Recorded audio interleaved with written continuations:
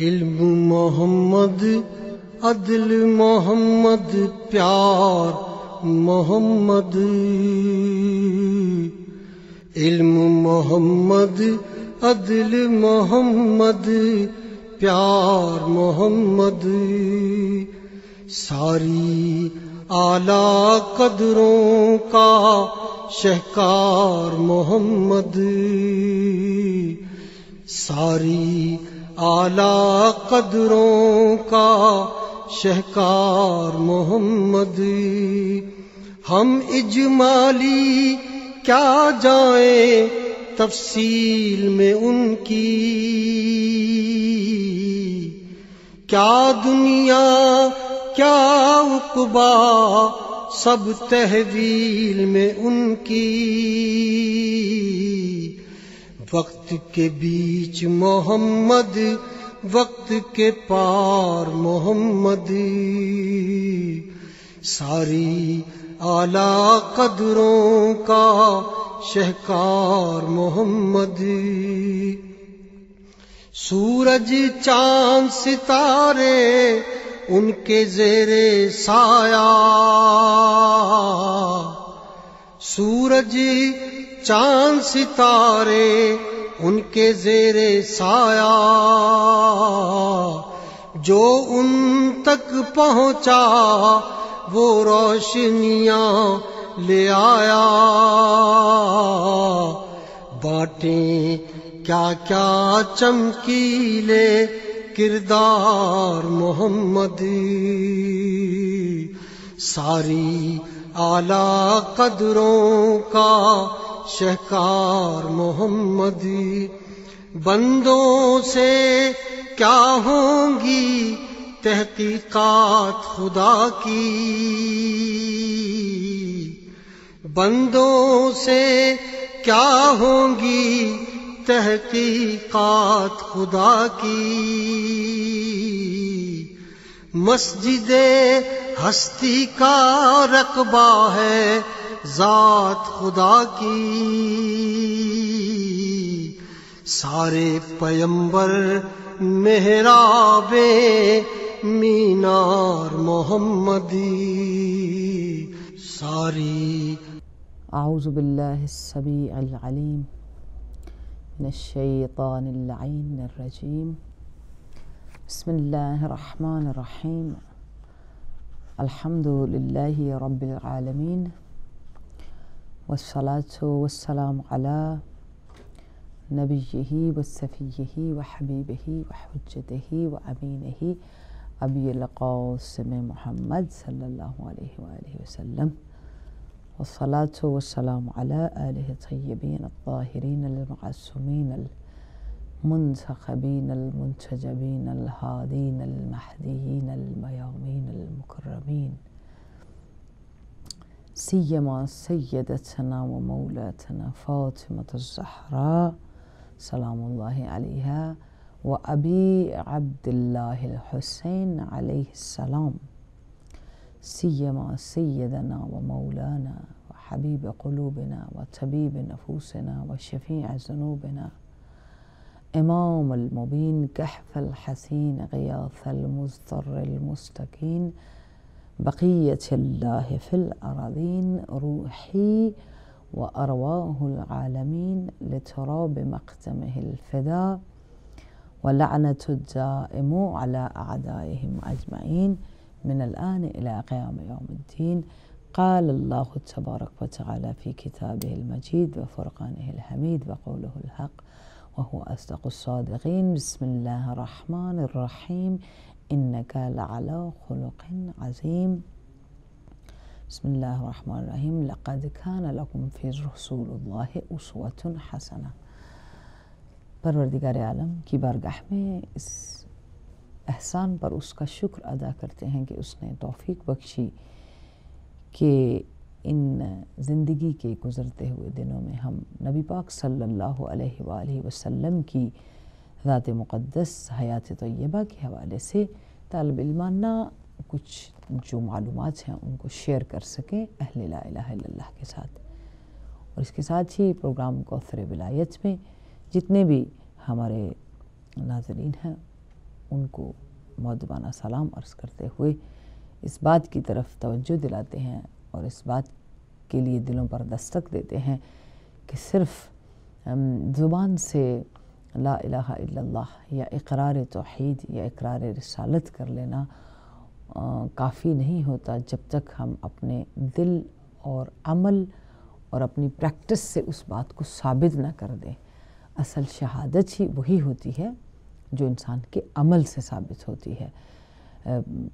زبان سے شہادت کا درجہ اتنا بلند نہیں جتنا عمل سے انسان کی اسی لیے جب انسان عمل سے کسی چیز کو ثابت کرتا ہے تو وہ شہید ہوتا ہے۔ یعنی اس سارے بلیف کے ساتھ، سارے عمل کے دوران وہ سارے، وہ جو ایک سسٹم ہے انسان کی پاکیزگی کا، اس کی طہارت کا، اس کے تزکیہ نفس کا، اس کی پاک ہونے کا یا اس کے بلندی کی طرف جانے کا یا اس کی علم اور عقل اور کامیابی اور نجات اور فلاح اور دنیا و آخرت میں آبرو کا، اس اس کا، اس اس سسٹم سے ہی گزر کر انسان جو ہے، وہ ان ساری متبرکات اور ان ساری چیزوں سے فیضیاب ہو سکتا ہے۔ اور وہ یہی ہے کہ جب انسان اپنی زبان سے کسی چیز کا اقرار کرتا ہے، تو اس کو عملاً جو ہے، اس پر پریکٹیکلی اس کی شہادت بڑی ضروری ہوتی ہے۔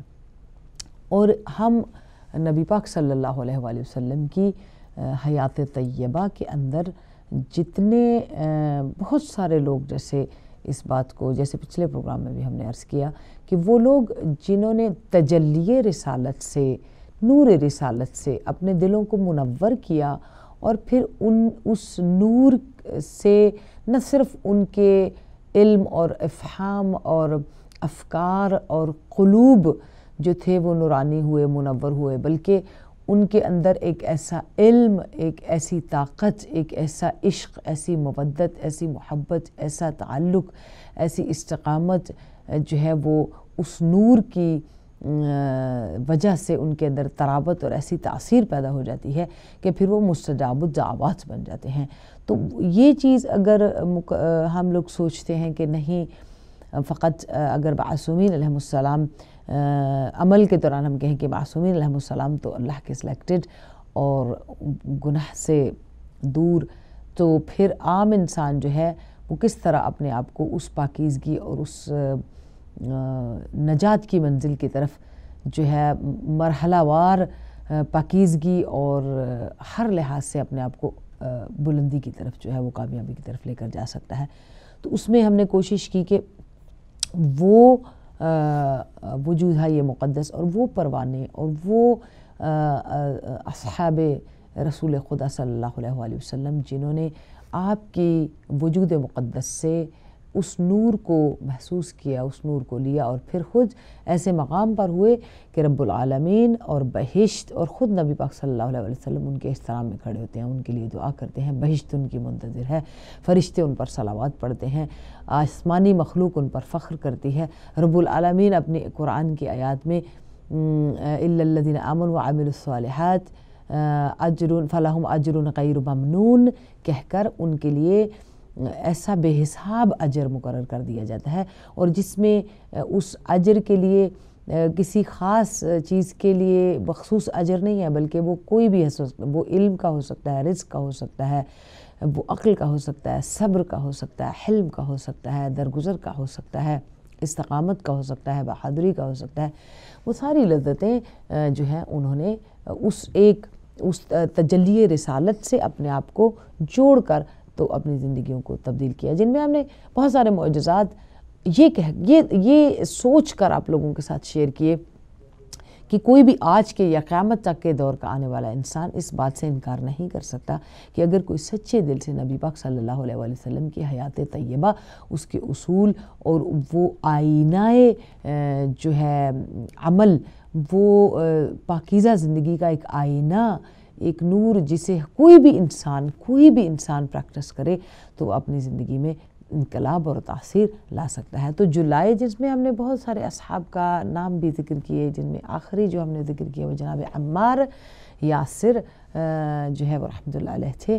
آج ہم نبی پاک صلی اللہ علیہ وسلم کہ وجود مقدس سے وہ اصحاب خاص جن کے لیے نبی پاک صلی اللہ علیہ وآلہ وسلم نے بار بار ان چیزوں کو فرمایا کہ یہ میرے خاص اصحاب ہیں اور ان کے لیے بہت سارا قرآن کی آیت کی بھی ریفرنس دی ہے اور کہا کہ بہشت ان کی ہمیشہ جو ہے وہ مشتاق ہے، ان کا اشتیاق رکھتی ہے۔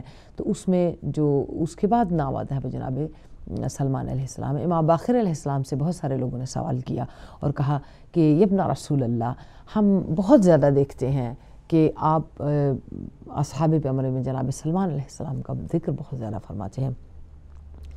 تو امام باخر علیہ السلام مسکرائے اور مسکرا کر فرمایا کہ دیکھیے، سلمان صرف سلمان نہیں، جب بھی آپ جناب سلمان کو یاد کریں، اصحاب، صحابی کی حیثیت سے اور یار پیمبر کی حیثیت سے، مددگار پیمبر کی حیثیت سے، تو آپ ہمیشہ سلمان کو سلمان محمدی کہہ کر یاد فرمائیں۔ تو یہ خود اپنے اپنے وقت میں بھی رسول خدا صلی اللہ علیہ وسلم نے بہت زیادہ جو حضرت انس سے روایات ہیں، جناب جابر بن عبداللہ انصاری سے روایت موجود ہیں کہ آپ نے خود تمام اصحاب کے ساتھ بیٹھ کر اس بات کو بڑی محبت سے اعلان فرمایا کہ سلمان ہمارے بھائی ہیں، سلمان ہم میں سے ہیں۔ تو انسان محبت اور عقیدت اور احترام کے اس درجے میں کس حد تک، اور جب بھی اہل بیت علیہ السلام کی بارگاہ میں یہ یہ بہت بڑی ایک سعادت رہی ہے کہ جب بھی کوئی سچے دل سے اس دروازے تک آیا اہل بیت علیہ السلام کے دروازے تک، تو انہوں نے ہمیشہ اس خلوص کو اور سچائی کو اور محبت کو اور جو مودت کے ساتھ آیا، اس کو ہمیشہ اپریسیشن دی اور ان ان کو کوئی نہ کوئی ایسا ایسا مقام اور کوئی نہ کوئی ایسی قبولیت مل گئی جو ان کی اس محبت جو ہے، اس کو، اس کے اس کے لیے ثبوت تھا کہ یہ سچے اور سچے عاشق عاشقان محمد وال محمد۔ علیہ السلام ہیں۔ تو یہاں سے تھوڑا سا میں اس اس چیز کو یہاں سے شروع کر لوں۔ اگر کہ جناب رسول خدا صلی اللہ علیہ وآلہ وسلم اور بہت سارے لوگ اگر نہ بھی جانتے ہوں تو جناب سلمان علیہ السلام کی عمر مبارک یہ، نبی پاک صلی اللہ علیہ وسلم کی زندگی سے ریلیٹڈ ان کا ذکر کرنا کہ آپ کے اخلاق سے، آپ کے خلق سے، آپ کی حیات طیبہ سے جو شمعیں روشن ہوئیں، جو نور جو ہے، ان کا ان کی روشنی جو ہے وہ اوروں تک بھی پہنچی، ان میں ایک سلمان محمدی ہیں۔ تو آپ جب قبا میں ٹھہرے تھے، جب تشریف لائے آپ مکہ سے مدینہ کی طرف، تو ابھی آپ کا قیام وہیں پر تھا۔ تو بہت سارے لوگ مدینہ کے آپ کی خدمت میں حاضر ہو رہے تھے اور آپ کو دعوت فرما رہے تھے۔ تو نبی پاک صلی اللہ علیہ وآلہ وسلم نے فرمایا کہ جب تک میں منتظر علی علیہ السلام ہوں، جب تک علی تشریف نہیں لائیں گے، ہم قبا سے مدینہ کی طرف نہیں جائیں گے۔ چونکہ قبا تھوڑا سا مدینہ سے ہٹ کے تھا۔ تو جناب سلمان علیہ السلام ایک یہودی کے ہاں ایک غلام کے طور پہ جو ہے نا، اس کام کر رہے تھے اس وقت۔ آپ نے، چونکہ آپ پچھلے ایک سو سال سے اس سفر کو انجام دے رہے تھے، راہبوں کے ذریعے، کلیساؤں کے ذریعے، چرچ کے ساتھ ساتھ، مختلف پچاس پچاس سال تک مختلف جو تھے اللہ کے جو عیسائی مذہب کے لوگ تھے، ان کے ساتھ رہتے ہوئے بہت ساری اپنے علامات جو تھیں، ان کو دل پہ لکھا، کچھ کو یاد کیا۔ تو اس طرح آخری رحب جس سے آپ کی ملاقات تھی اور اس نے آپ کو مدینہ کا راستہ لیا کہ یہاں پر جو ہے وہ آخری پیمبر کا نور طلوع ہوگا اور تم جو ہے نا وہاں جا کر ان کو دیکھ سکتے ہو۔ تو جناب سلمان علیہ السلام یہیں پر منتظر رہے نبی پاک صلی اللہ علیہ وآلہ وسلم کے۔ اب یہاں خوبصورت بات یہ ہے کہ جو ہمیں اور آپ کو سوچنی اور ہماری زندگیوں کے لیے ایک بہت سی مشعل راہ ہو سکتی ہے، ہمارے لیے تقویت کا باعث ہو سکتی ہے کہ جب ہم دل سے، جیسے ہم امام زمان کا انتظار کر رہے ہیں اللہ تعالیٰ فرج شریف، تو اس انتظار میں ہم کتنی ایفرٹس ڈالتے ہیں؟ یہ یہ چیز بڑی ضروری ہے۔ تو اس طرح جناب سلمان نے جب تحقیق کو مکمل کیا اور پھر وہ اس انتظار میں تھے کہ کب، اور اس اس انتظار میں ایفرٹس کو بھی ڈال رہے تھے کہ کس طرح جو ہے نا میں اس نور تک پہنچ جاؤں۔ تو جب قیام میں تھے تو آپ یہودی کے باغ سے اس کی اجازت سے کچھ طبق جو تھے وہ کھجوروں کے لے کر آئے۔ تو آپ نے، آپ کے ساتھ جو اور بھی وہاں پہ لوگ مدینہ کے بھی تشریف فرما تھے آپ نے نبی پاک صلی اللہ علیہ وسلم کے سامنے رکھا۔ تو آپ نے پوچھا کہ یہ طبق کس چیز کا ہے؟ تو کہا گیا کہ جی یہ صدقات ہیں۔ تو اپنے منع فرمایا جسے جناب سلمان کا علم اور محکم ہوا۔ پھر جب جناب علی علیہ السلام بھی تشریف لائے، باقی لوگوں کو دیا، پھر طبق اگلے دن لے کر آئے، پھر آپ نے پیش کیا، تو جناب سلمان نے ہدیتاً پیش کیا، تو اس کو جو ہے باقی لوگوں نے بھی تناول فرمایا، نبی پاک صلی اللہ علیہ وسلم کے بے شمول نبی پاک صلی اللہ علیہ وسلم۔ آپ طواف کر رہے تھے اسی بہانے سے کہ مطلب میں تقسیم کر رہا ہوں۔ جناب سلمان کو جناب رسول خدا صلی اللہ علیہ وآلہ وسلم نے مخاطب کر کے فرمایا کہ سلمان آپ کیا ڈھونڈ رہے ہیں؟ تو خود آپ نے بلکہ کہا کہ آپ اپنے اس عقیدے کی جو ہے وہ تصدیق کرنا چاہتے ہیں۔ تو جس جس میں آپ مہر نبوت کے متلاشی ہیں، آپ نے باقی چیزوں کا جائزہ لیا۔ تو پھر جناب سلمان علیہ السلام مسکرایا، فرمانے لگے جی ہاں یا رسول اللہ۔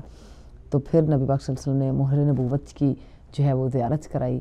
جناب سلمان جو ہے وہ، انہوں نے اقرار توحید کیا، اقرار رسالت کیا۔ دوبارہ اپنے والی کے پاس جا کر کہنے لگے کہ میں ان ساری چیزوں سے اب جو ہے وہ نکل چکا ہوں۔ اب تم کسی بھی جو ہے وہ چیز کے ساتھ مجھے، شرائط کے ساتھ مجھے لکھ لو اور مجھے آزاد کر دو کیونکہ میں مسلمان ہو چکا ہوں اور تمہارے کام کا نہیں رہا۔ اس یہودی نے یہ بات کہی کہ میں پانچ سو درخت خرمے کے اور چالیس اوقیہ یعنی ایک اوقیہ کے اندر ایک جو ہے وہ چالیس مسقال سونا ہوتا ہے۔ تو میں اس کے عوض جو ہے تو میں جو ہے وہ آزاد کر دوں گا۔ جناب سلمان علیہ السلام نبی پاک صلی اللہ علیہ وسلم کے قریب آئے جب تک مولا علی بھی تشریف لا چکے تھے۔ اس وقت جب ہم ان چیزوں کو ڈسکس کرتے ہیں تو ہمیں دیکھنا ہوگا کہ جناب سلمان کی عمر مبارک جو تھی وہ ٹو ہنڈریڈ سے ٹو ففٹی کے درمیان میں تھی۔ جب آپ ٹو ہنڈریڈ تک تھی، جب آپ رسول خدا صلی اللہ علیہ وسلم، تو کس طرح طولانی عمر بھی رب العالمین نے ان کو عطا فرمائی مختلف روایت کے مطابق۔ اب یہ ہے کہ جب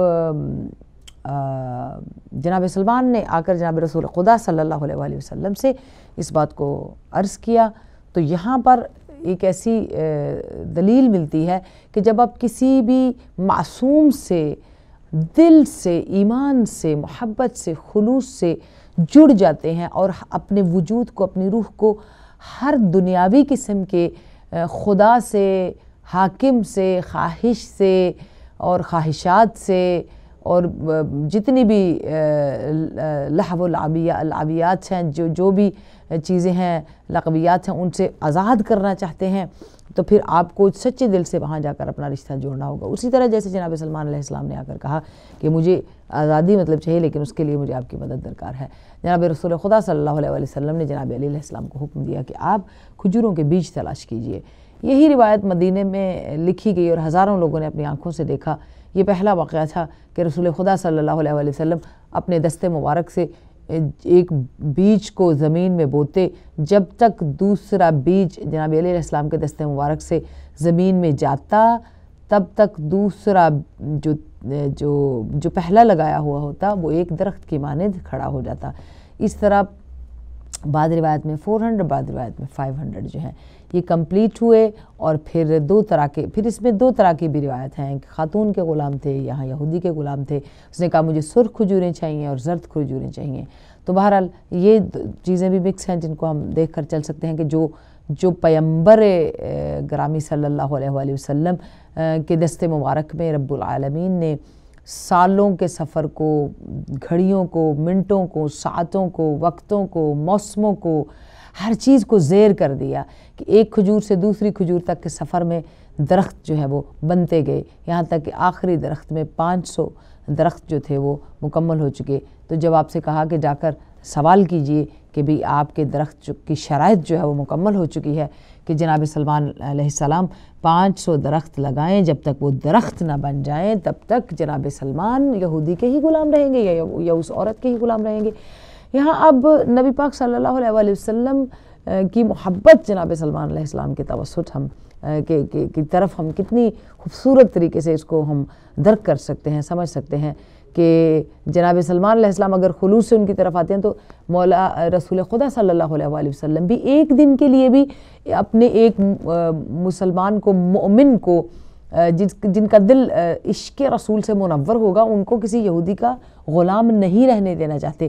اس لیے تمام سالوں کو اور مہینوں کی مسافتوں کو اپنے سیکنڈز میں ان درختوں کے ان معجزات کو سامنے یہودی قوم نے بھی دیکھا اور بہت سارے اہل مدینہ نے بھی دیکھا۔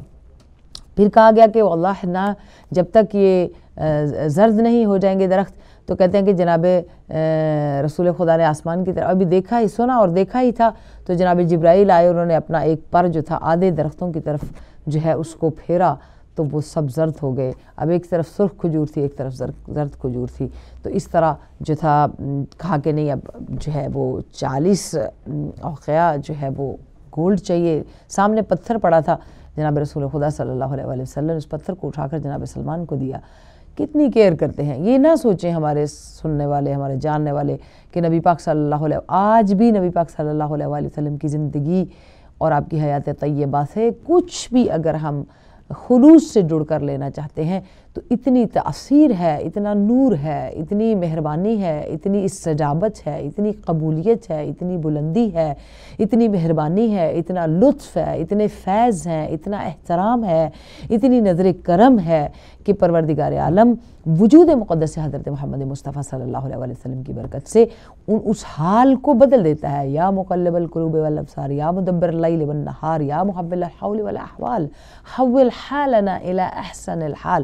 تو جو مقلب القلوب یا مدبر اللیل والنہار، اسی طرح بحق محمد و وال محمد، وہ ساری چیزوں میں ایک تغیر جو ہے، منقلب جو ہے، وہ ہو جاتا ہے۔ ساری چیزوں میں ایک تغیر آ جاتا ہے، انقلاب آ جاتا ہے۔ تبدیلی آ جاتی ہے اور یہ پازیٹیو نورانی اور بہترین اور پاکیزہ اور قبولیت والی جو ہے وہ تبدیلی ہوتی ہے۔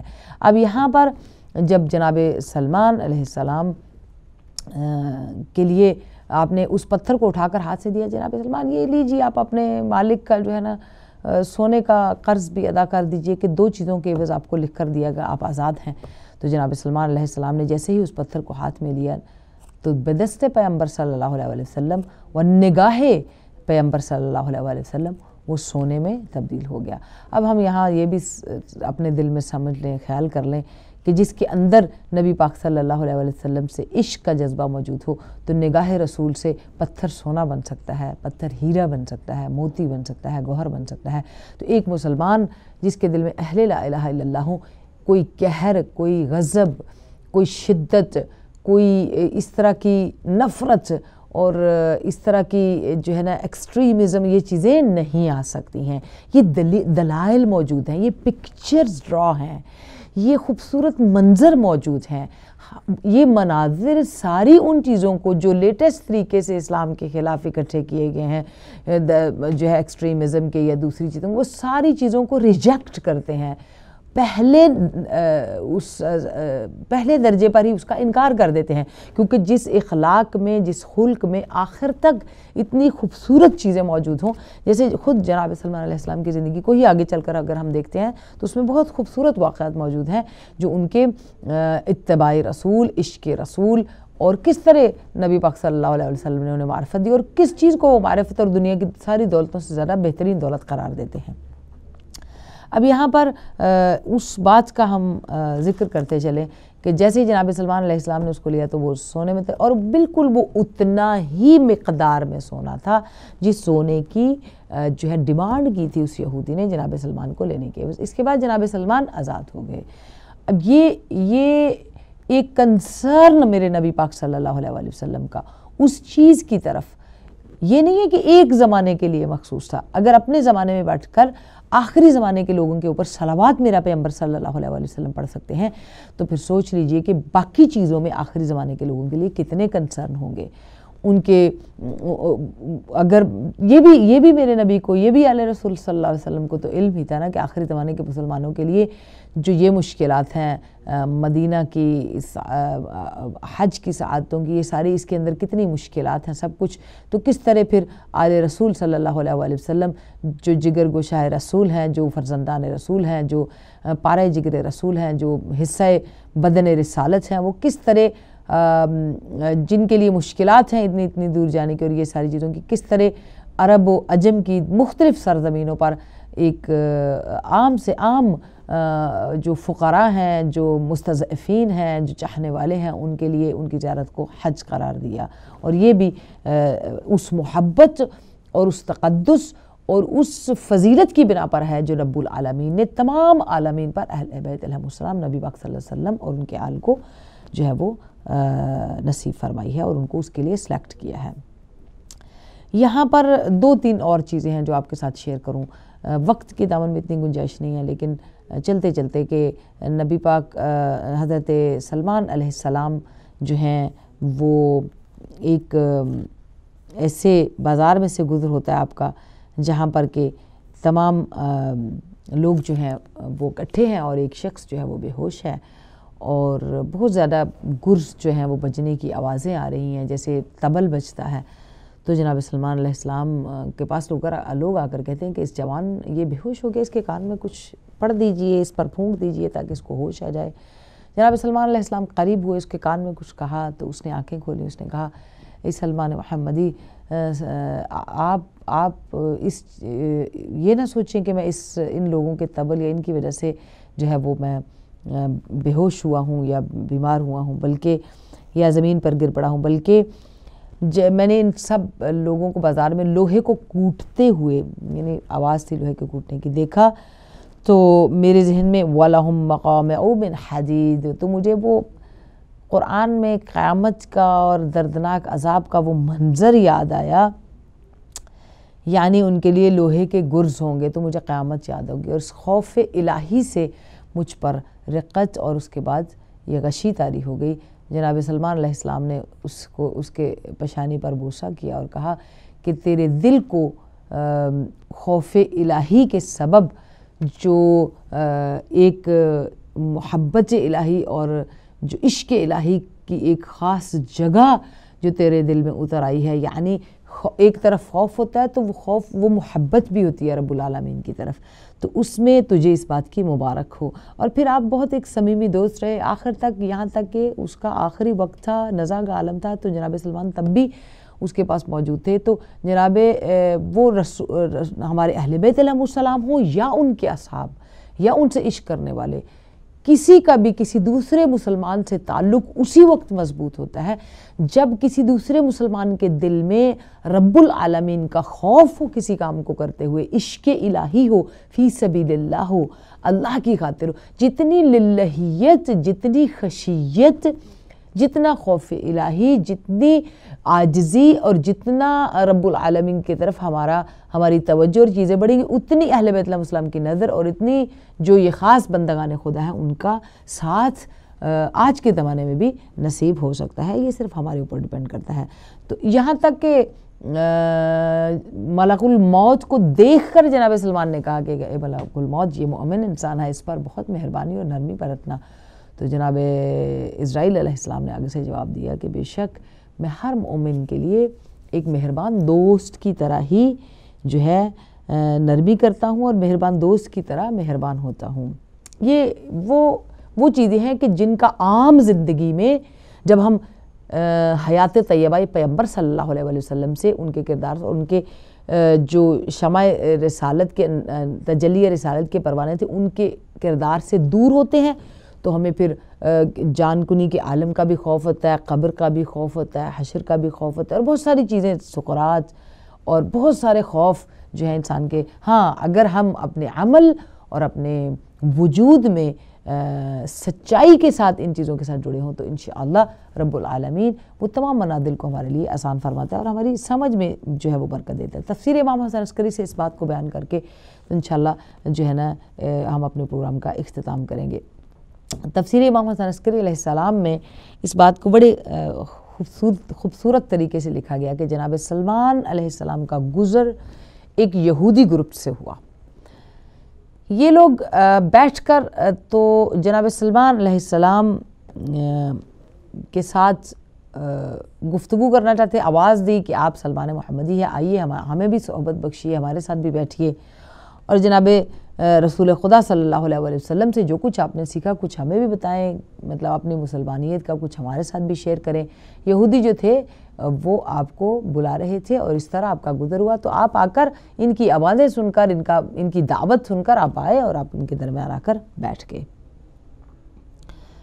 اچھا جناب سلمان جب ان کے پاس بیٹھ گئے تو جناب سلمان علیہ السلام نے ان کو اسلام لانے کی جو ہے وہ دعوت دی اور کہا کہ جناب رسول خدا صلی اللہ علیہ وسلم سے سنا ہے کہ خدا وند عالم فرماتا ہے کہ اے میرے بندو، کیا ایسا نہیں ہے کہ ایک گروہ کو تم میں سے بڑی حاجتیں ہوتی ہیں اور تم ان کی حاجتیں پوری نہیں کرتے ہو، مگر اس وقت جبکہ وہ اس سے سفارش کرتے ہیں، جب خلق میں تم کو زیادہ محبوب ہوتا ہے جب وہ ان کو، ان کی شان و منزلت کے سبب تمہارے نزدیک اپنا شفیع قرار دیتے تھے۔ تو تم ان کی حاجتیں بھرلاتے ہو۔ اسی طرح سمجھ لو کہ میرے نزدیک میری مخلوق میں سب سے زیادہ زی قدر زی مرتبہ، ان میں سے افضل، سب سے افضل اور برتر محمد صلی اللہ علیہ وسلم اور ان کے بھائی، ان کے وسیع علی اور وہ آئمہ ہیں جو ان کے بعد آنے والے ہیں، جو خلق کے جو ہے وسیلے اور ذریعہ، وسیلہ اور ذریعہ ہیں میرا بارگاہ الہی میں۔ لہٰذا جس شخص کو بھی اس دنیا میں حاجت پیش ہوگی، جس مخلوق کو بھی، وہ ان معصومین کو اپنا شفیع قرار دے کر اگر کوئی دعا مانگے تو رب العالمین جو ہے اس کی دعا کو مستجاب فرمائے گا۔ اتنا جناب سلمان علیہ السلام نے اپنے عقیدے کا اظہار کیا تو یہودی آپ کا مذاق اڑانے لگے۔ کہنے لگے جناب سلمان سے کہ اے سلمان، کیا باتیں کرتے ہیں آپ؟ آج تک بتائیے کہ ان کے توسل سے آپ نے کبھی سوال کیا تو آپ کا سوال پورا بھی ہوا؟ آپ کی دعا مستجاب بھی ہوئی؟ تو اگر ایسا ہے تو آپ، اللہ سے دعا کریں کہ آپ کو تمام اہل مدینہ سے ان کے توسل سے بے نیاز کر دیں۔ جناب سلمان علیہ السلام نے فرمایا میں نے ہمیشہ ان کو وسیلہ اور ذریعہ اپنی دعاؤں میں شفیع قرار دے کر خدا سے اس چیز کا سوال کیا۔ اس چیز کا سوال کیا جو دنیا کے تمام ملک سے یا ملکوں سے یا پراپرٹیز سے یا جتنی بھی بات چاہیے ان سے عظیم اور نافع تر ہے۔ یعنی جناب سلمان علیہ السلام ایسا سوال کر چکے ہیں اور وہ سوال جو کیا ہے وہ ان تمام بادشاہیوں سے، تمام ملکوں کی حکومتوں سے زیادہ مفید تر اور نافع تر ہے کہ خدا نے، اور وہ کیا ہے؟ جناب سلمان علیہ السلام کے بقول۔ وہ کیا ہے کہ خدا نے مجھے ان کی عظمت اور بزرگی اور ان کی مدحت و ثنا کرنے والی زبان جو ہے وہ عطا کی ہے۔ اللہ اکبر۔ یہ وہ افراد ہیں جو رب العالمین کی بارگاہ میں مستجاب الدعوات ہیں۔ نبی پاک صلی اللہ علیہ وسلم انہیں سلمان من اہل البیت کہتے ہیں اور جنت ان کی مشتاق ہے۔ جناب ظہر اسلام اللہ علیہ کی دعائیں ان کے ساتھ ہیں۔ خود مولا امیر المؤمنین علیہ السلام انہیں اپنے ساتھیوں میں قرار دیتے ہیں۔ تو وہ کیا کہتے ہیں؟ کہ وہ کیا فرماتے ہیں کہ اس دنیا کی تمام حکومتوں سے زیادہ نافع تر مفید تر، منافع بخش۔ چیز جو ہے وہ رب العالمین نے مجھے عطا کر دی ہے۔ اور وہ کیا ہے کہ میرے پاس ان کی عظمتوں، جو زبان عظمت و بزرگی اہل بیت علیہ السلام اور ان کی مدحت و ثنا کو بیان کرے، جس زبان کا مشغلہ خدا عظمت و بزرگی اہل بیت قرار دے دے اور ان کی مدحت و ثنا، تو یہ عظمت اور بزرگی اہل بیت زبان بیان کرنے والی زبان سب سے بڑا ذخیرہ ہے، سب سے بڑی پراپرٹی ہے، سب سے بڑا منافع ہے۔ اللہ اکبر۔ اور ایسا دل کرامت والا جو ہے وہ مجھے سرفراز فرمایا ہے کہ جو اس کی نعمتوں پر شکر ادا کرنے والا ہے اور پھر عظیم مصیبتوں پر صبر کرنے والا ہے۔ تو خدا نے میری دعا قبول کی ہے۔ جو کچھ میں نے اللہ سے طلب کیا ہے، جناب سلمان یہودیوں سے کہہ رہے ہیں۔ اللہ نے مجھے عطا فرما دیا ہے۔ وہ تمام دنیا کی بادشاہی اور جو کچھ اس میں نعمتیں ہیں، لاکھوں درجہ سے جو کچھ میرے پاس ہے، لاکھوں درجے اس سے برتر ہے، بہتر ہے۔ یہودی کہنے لگے، مذاق اڑاتے ہوئے تو پھر تو ہمیں آپ کا امتحان کرنا پڑے گا۔ اگر آپ اپنے دعوے میں سچے ہیں، آپ نے کہا کہ عظیم مصیبتوں پر صبر کرنے والا ہوں۔ اور جو کچھ آپ اللہ سے طلب فرماتے ہیں وہ ہو جاتا ہے۔ چلیے، آپ دونوں چیزوں کا ہم امتحان کرتے ہیں، آپ صبر کرنے والے ہیں۔ تو پھر ہم جتنے یہودی جہاں پر بیٹھے ہیں، ہم آپ پر تازیانے جو ہے، اس اس اس اس کا وار کرتے ہیں۔ ہم دیکھتے ہیں کہ آپ کے اندر صبر کتنا ہے۔ جناب سلمان علیہ السلام نے اپنا ہاتھ آسمان کی طرف بلند کیا اور کہا، پروردگارہ، مجھے اس بلا پر صبر عطا فرما۔ کہتے ہیں کہ روایت میں یہ بات لکھی اور میں نے پہلے ہی اس بات کو عرض کیا کہ جناب امام حسن علیہ السلام سے یہ روایت کو لکھا گیا کہا کہ یہ بیس کے قریب یہودی تھے، یہ تھک گئے۔ اٹھا نے جناب سلمان کو مارتے مارتے اور آپ ایک ہی جملہ دہراتے۔ جب تھک کر بیٹھ گئے تو کہنے لگے کہ بے شک اگر کوئی اور اس جگہ پر ہوتا تو اس کے جسم کی ہڈیاں ٹوٹ جاتی۔ تو جناب سلمان علیہ السلام سے کہا کہ تو نے دعا کیوں نہیں کی؟ جناب سلمان نے کہا، میں نے دعا کی ہے، اللہ نے میری دعا مستجاب فرمائی ہے کہ مجھے اس بلا پر صبر عطا فرما۔ اور اللہ مجھے صبر عطا فرما رہا ہے۔ اچھا پھر اس کے بعد یہ لوگ سستا ہے، اس کے بعد دوبارہ شروع کیا۔ یعنی تاریخ میں یہ بات لکھی گئی کہ دوسری مرتبہ اٹھے، اسی طرح کتنی دیر تک جناب سلمان پر دادیانوں کی بارش کرتے رہے۔ پھر تیسری، پھر بیٹھے، تھکے، پھر کہا کہ تو اپنے خدا سے یہ دعا کیوں نہیں کرتا کہ تیری طرف آنے والے یعنی دو چیزوں کا دعویٰ ہے نا، ایک جو طلب کرتا ہوں اللہ دیتا ہے اور اللہ نے مجھے عظیم بلاؤں پر صبر عطا کیا ہے۔ تو اب دونوں چیزیں تو ہیں۔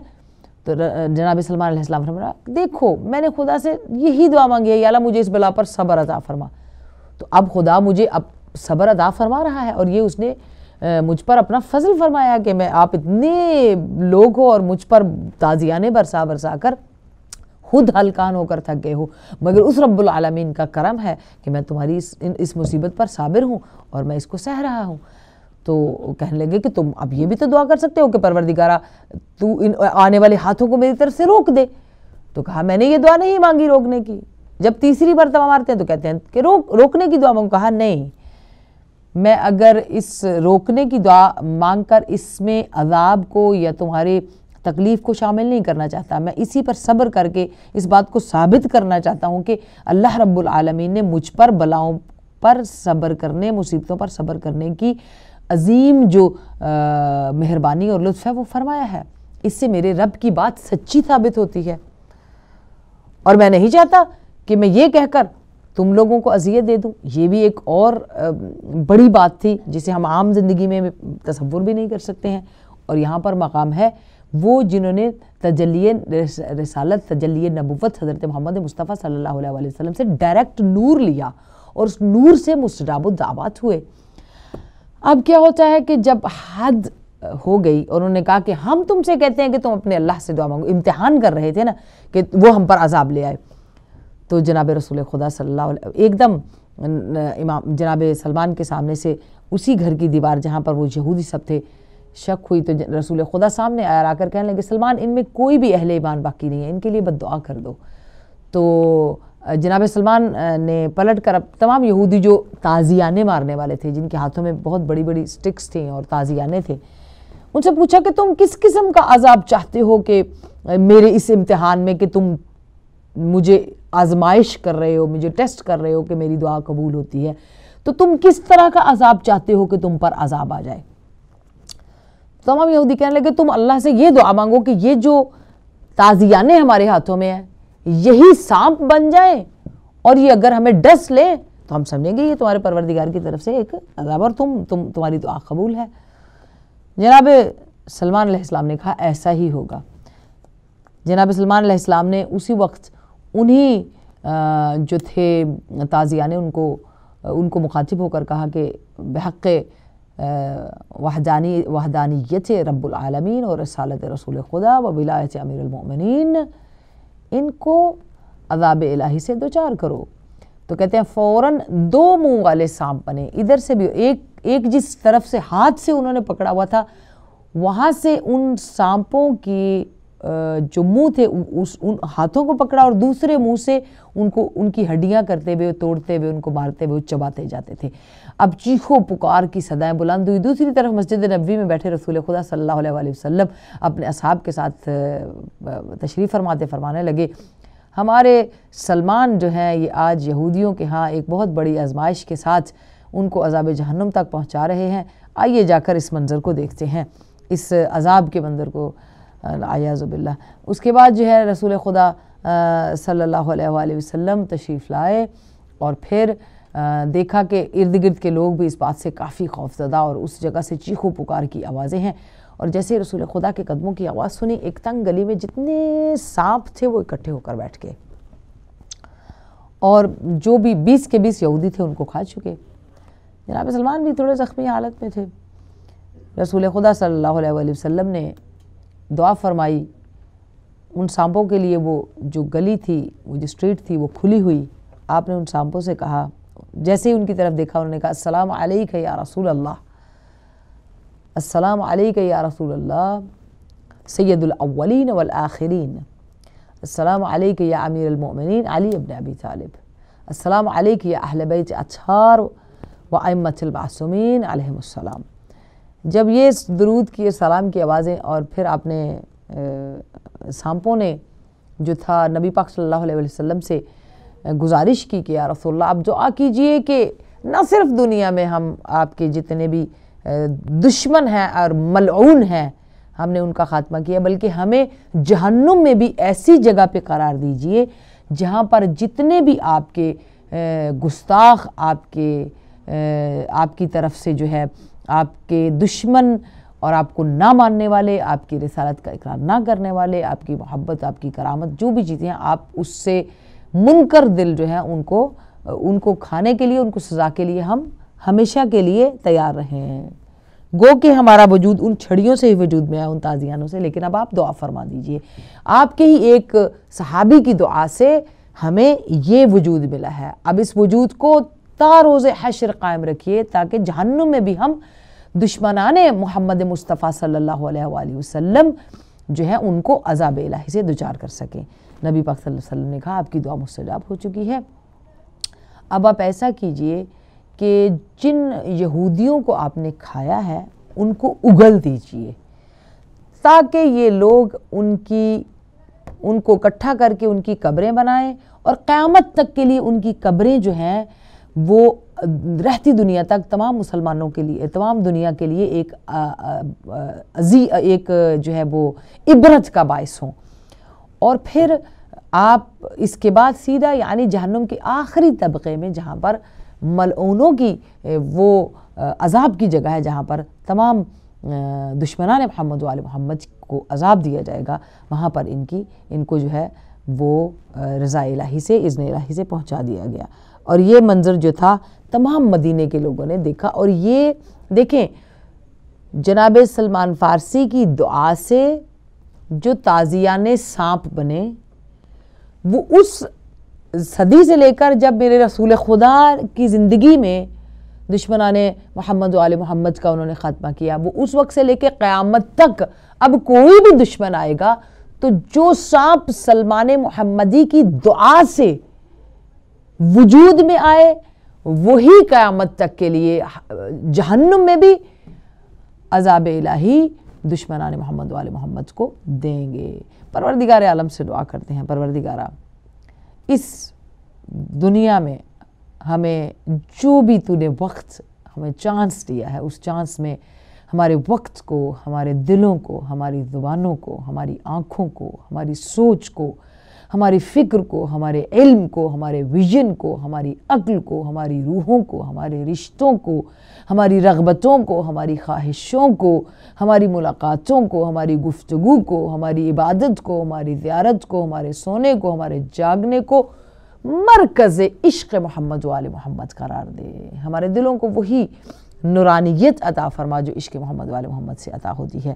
اور اللہم جعلنا مع محمد وآل محمد فی کل آفیت و بلا وجعلنا معهم فی مواتن کلہا۔ ولا تفرق بیننا و بینہم انکا علا کل شین قدیر۔ پروردگار عالم، ہماری دعاؤں کو سب کے حق مستجاب فرمائے۔ اور اس دعا کے ساتھ کہ اس پروگرام میں ہم عاشقان رسول اور خصوصاً جو تجلی نبوت سے جن کے نور نے ایسی ایسی کرامات دکھائیں اور آج بھی وہ کرامتیں قائم ہیں۔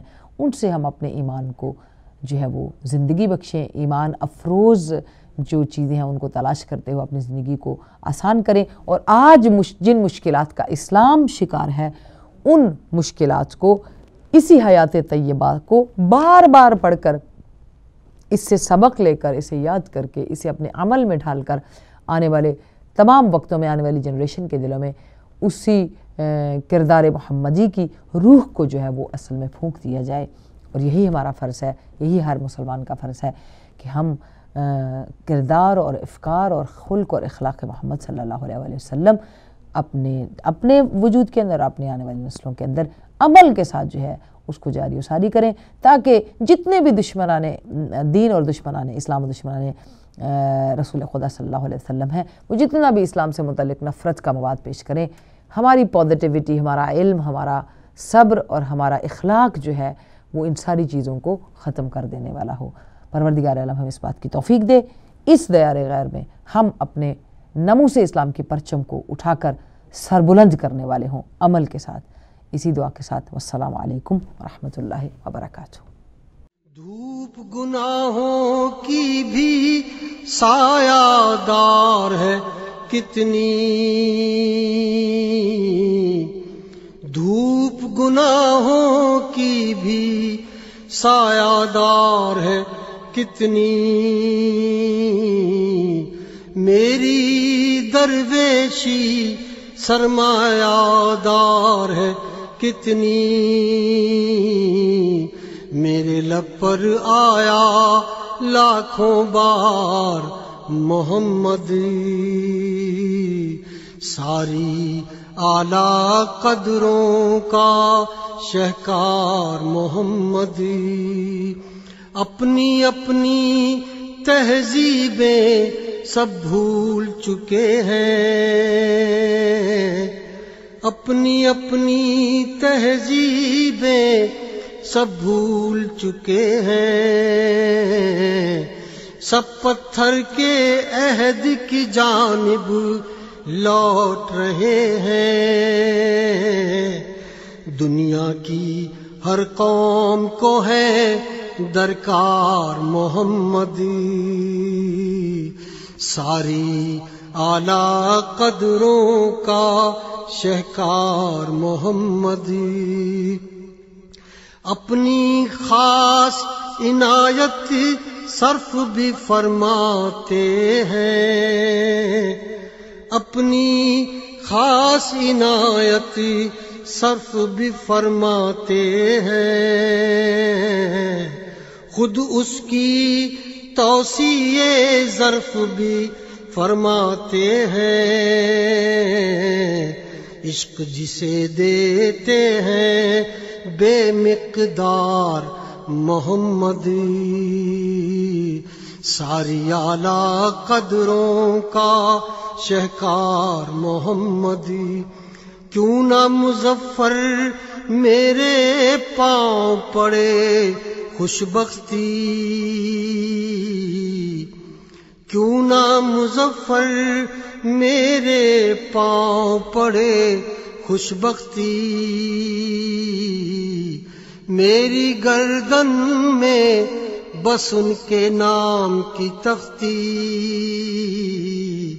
میری سب خوشیاں سارے تہوار محمدی۔ علم محمد، عدل محمد، پیار محمد۔ ساری اعلی قدروں کا شہکار محمد۔